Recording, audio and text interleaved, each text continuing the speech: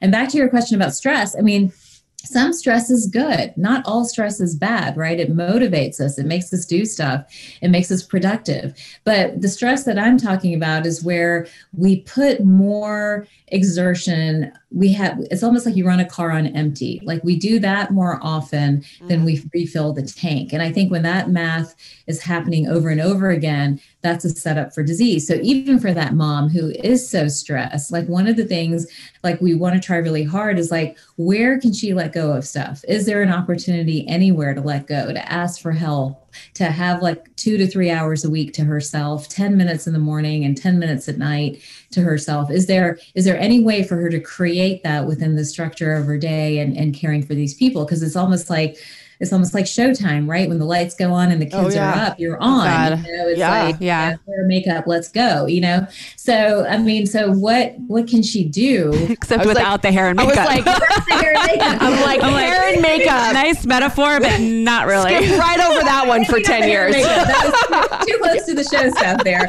But anyhow, but, you know what? Uh, you get the idea, right? Yeah. Yes, of course. Like it's literally, like you're on, and and you don't stop until everyone's back in bed again, and then you're on again you know so so where, where can she build a little bit of breathing room in that time and the other things that mothers in particular do is and i see this in the practice all the time is that everybody will come through the practice right the kids will come mm. through the grandmother comes through the husband comes through guess who makes their appointment last. Mm-hmm. You know and so their appointments are put on pause. Their healthcare needs are put on pause. So just remembering that they shouldn't be last when they're leading the family you know they really should be first.